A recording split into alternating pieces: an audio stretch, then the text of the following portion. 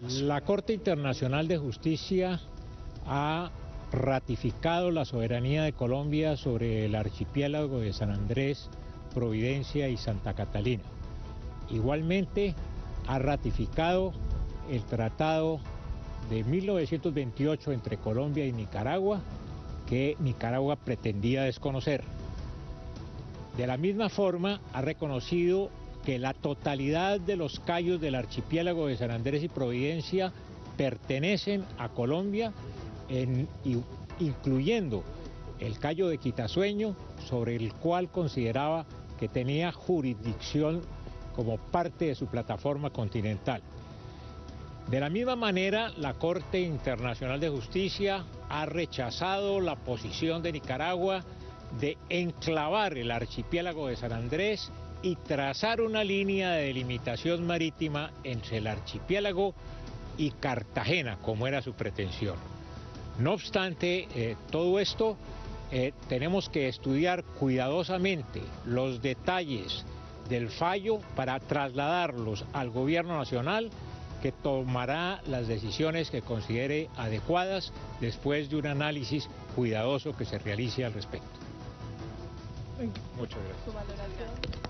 Son las declaraciones de Julio Londoño, breves, muy breves, en las cuales dice que hay que estudiar los detalles del fallo. Es la primera reacción que tiene el gobierno colombiano en cabeza de su jefe negociador, eh, señor Londoño, en el cual pues dice que hay que revisar uno a uno cada uno de los detalles del fallo. Pero en pantalla, para eh, aquellos que recién se están uniendo a la transmisión de Noticias Caracol, está una gráfica explicativa de cuáles son los nuevos límites marítimos de Colombia y Nicaragua.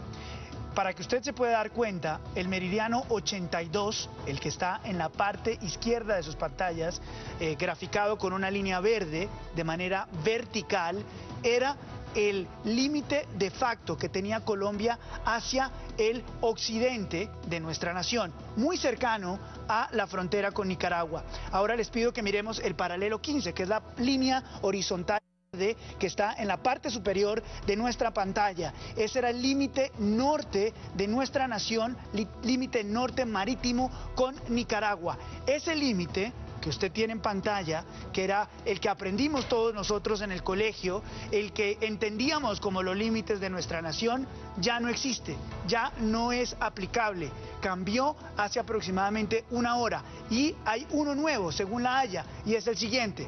Fíjese usted en la línea roja, la línea que hemos pintado de rojo y que comprende que tiene en círculo a Roncador, Providencia, Santa Catalina, San Andrés y el Cayo Albuquerque. Albuquerque. Esos callos, esa área, sigue perteneciendo a Colombia. Quitasueño y Serrana son colombianos. El área que los comprende, que está alrededor de ellos, es colombiana. Sin embargo, esa área que hemos pintado de color verde claro es la que le pertenecía a Colombia y ya no le pertenece.